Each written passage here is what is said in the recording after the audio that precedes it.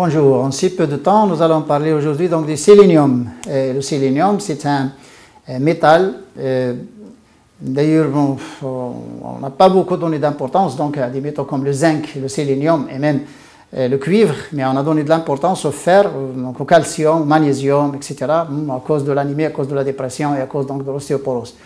Et le sélénium, c'est le seul métal qui compte parmi les antioxydants. C'est un antioxydant minéral. Sinon, les antioxydants qui se trouvent dans le monde végétal, c'est des antioxydants organiques. Euh, c'est des polyphénols ou des flavonoïdes. Et le sélénium, première source, c'est le poisson.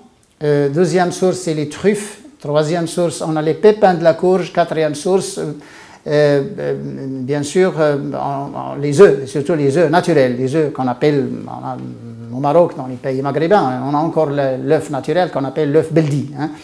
Et cet euh, œuf naturel, c'est une bonne source de sélénium. Sinon, il existe un peu de sélénium dans les légumineuses, notamment le soja, et dans certains produits laitiers, etc. Bon. Mais les grandes sources donc, du sélénium, le numéro un, c'est le poisson. Et, et, le poisson, le sélénium, il est avec l'iode, c'est extraordinaire sélénium est dans le poisson. Il est avec l'iode, avec l'oméga 3, il est avec le tryptophane. Donc euh, ces choses-là, ces quatre choses, ils sont extraordinaires pour le corps humain.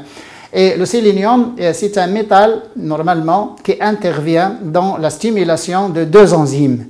C'est la rédoxine euh, réductase et c'est la glutathione oxydase. Donc deux enzymes. Et glutathione oxydase, c'est l'enzyme qui permet de balayer les radicaux libres. C'est l'enzyme qui permet d'éliminer les radicaux libres et de les rejeter à l'extérieur donc du corps humain. Et ce sont les radicaux libres qui sont la cause de toutes les maladies. Les radicaux libres, ça use la cellule, ça oxyde la cellule, ça détruit la cellule, et, d'ailleurs ça chamboule les échanges euh, au niveau de la cellule et à l'intérieur de la cellule au niveau des mitochondries et même au niveau des ADN et ARN. Donc il lèse même euh, donc, les chromosomes. D'ailleurs, les, les radicaux libres ils peuvent induire un cancer facilement. Et la glutathione oxydase avec la rédoxine réductase, donc ces deux enzymes-là, ils permettent d'éliminer donc euh, tout ce qui est radicaux libres donc, euh, du corps humain. Et le sélénium, c'est un protecteur du corps. Parce que si on n'élimine pas les radicaux libres, il n'y a que ça, il n'y a que ces deux enzymes-là qui permettent d'éliminer. Donc, il y a la superoxyde oxydase aussi, il y a euh, la, phosphate réductase aussi, la phosphate oxydase au niveau du foie, donc, qui euh, qui sont stimulés par d'autres minéraux comme le manganèse, d'ailleurs le cuivre et le zinc. Et le sélénium, c'est un antioxydant. D'ailleurs, il est compté parmi. C'est un anticancer, de toute façon. Pourquoi? Anticancer Pourquoi? Parce qu'il élimine les radicaux libres et permet au corps donc, de s'alléger. Il agit au niveau donc, de la glande thyroïde parce que euh, sans la glande thyroïde, ce n'est pas uniquement l'iode. Il ne faut pas qu'il y ait une intoxication par les métaux lourds type cadmium, plomb. Et il ne faut pas qu'il y ait un manque en vitamine A et en vitamine E il faut qu'il y ait du sélénium et l'iode.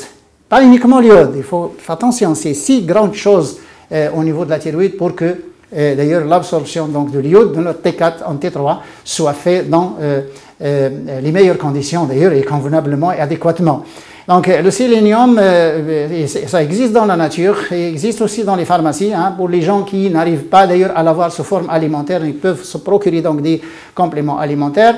Euh, on, le mentionne dans la, si vous entrez dans l'internet, on le mentionne aussi dans la levure boulangère, donc des poudres à base de levure, surtout les gens qu'on donne aux sportifs, les choses là, les concentrés qu'on donne aux sportifs, on le mentionne aussi euh, comme source, mais la source naturelle la plus importante, c'est le poisson. Et bien sûr, les truffes avec les pépins de courge. Les pépins de courge, ils contiennent sélénium et zinc en même temps. Et puis, il, existe aussi donc dans l'œuf, l'œuf naturel, si on la trouve, euh, elle est bonne et c'est une bonne source donc de sélénium.